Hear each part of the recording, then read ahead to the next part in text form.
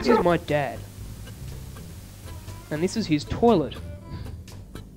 And here's how it works. His toilet. Well, you sit and do your business. When you've finished, get a handful of this nice rotted down grassy stuff here, maybe with some worm eggs in it. Yeah, this, and it goes in on top of everything else, and that just starts breaking down the poo or whatever's in there. Um, what are its benefits and where does it end up eventually? Eventually, it ends up in the worm box. This is the worm box. End up. Well, this becomes our both our worm farm and our fertilizer for the garden. So the worms breed in here. There's already been some worms introduced here. They breed in here, making nice wormies. They lay their eggs, then they breed up really big. They eat all the all the um, poo in a nice, environmentally friendly manner. And then we just shift this out and put it onto the garden. Or a Future for this system, or will it be duplicated in Ah, well, this is the this is the prototype model. This is the rough as guts out in the backyard version. We're going to have another version up on the front of the house. Right here. And from that, we'll run out our gardens along up the side of the house.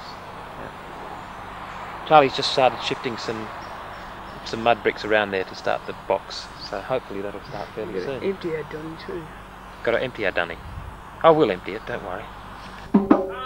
What?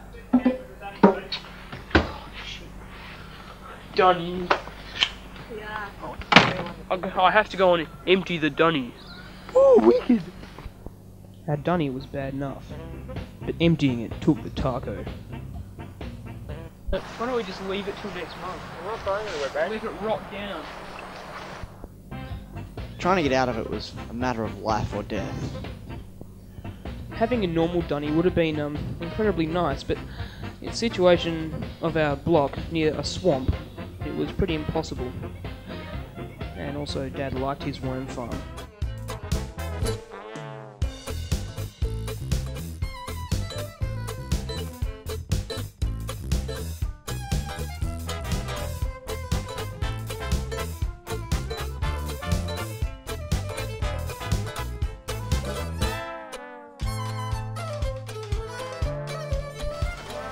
There you go. Put the, the, stuff, the hay in. Look at her. There, that's beautiful. Look at that. Most of it's already broken down. Yeah, beautiful. No, I bet you see, you can see some worms in there. Yeah. And then, no, still a bit dump yuck in there. This goes down to where the worms live. Everyone always gets grossed out by this.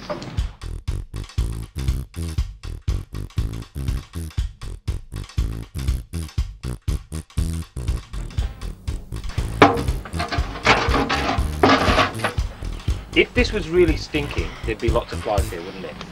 Dunny was no innocent being.